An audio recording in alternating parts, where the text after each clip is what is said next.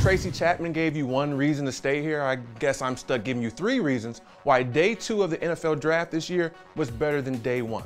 We'll start at number one. The first day was a bit underwhelming.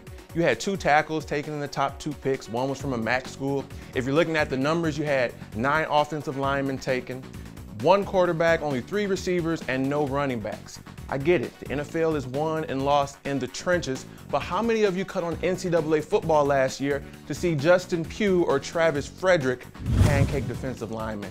I rest my case. Number two, the second day had better storylines. Let's face it, the NFL draft is not players playing, it's all about the entertainment value.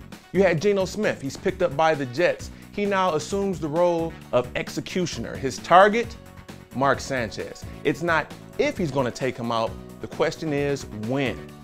Then you've got Manti Te'o. Talk about a precipitous fall from grace. Heisman candidate, defensive player of the year. He has the catfish situation. He has a horrible national championship game. He had a bad combine. He goes all the way down to the second round. He gets picked up by the San Diego Chargers. Maybe he's going to be Junior Seau 2.0.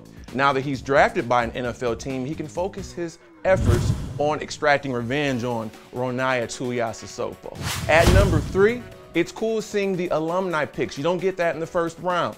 You got to see guys like Warren Sapp, Deion Sanders, Keith Bulluck. These guys are making the picks. Uh, some of them were in the league not too long ago, so the nostalgia aspect is great. And it's also cool seeing former athletes butcher names such as Menelik Watson. There you have it. Number one, the first day was underwhelming.